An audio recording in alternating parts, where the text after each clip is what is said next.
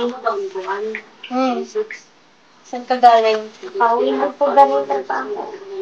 May, sinalihan po pala ako na Ano?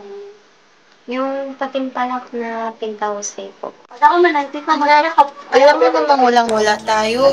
Eh, Nay, may naipon naman po ako, tsaka yun na lang po yung gagamitin kong pambili ng mga gamit. Sigurado ka ba dyan, anak? Opo, Nay. Anak, pagpasensyahan mo na ako ha. Kahit walang-wala na tayo, alam mo namang suportado kita. Okay, salamat po. Umaga po, ma'am. Magandang umaga din. Anong atin? Ang magtatanong po sana ako dun sa babayaran ko. Magbabayad po talaga dun sa.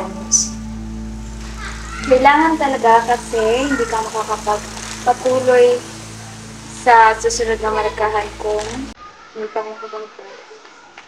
Ay, kasi ma'am, may pinaglalaanan pa ako dun sa inyong kong kong pera. Pasensya na, wala tayong magawa. Yung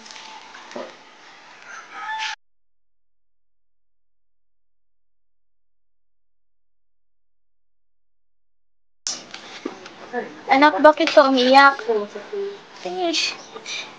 Dami ko yung pera. Ang dami kong pinagbayaran sa college. Wala akong mabibili gamit.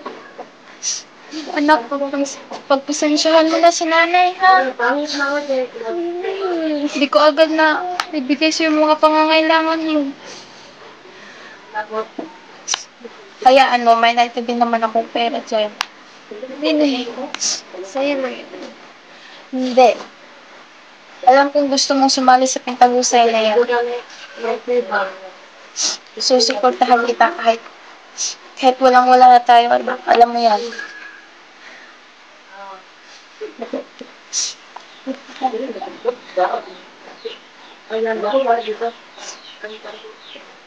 Bukas bibili tayo ng mga gamit, ha? Tahan na sila.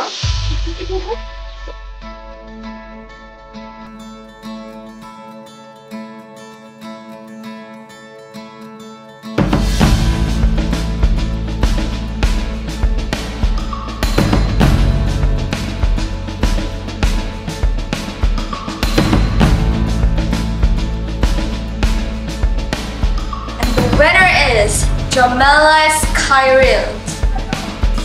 kahit anong pagsubok ang dumating sa ating buhay upang hadlangan ang ating mga pangarap, ay huwag tayong magpapatalo dito.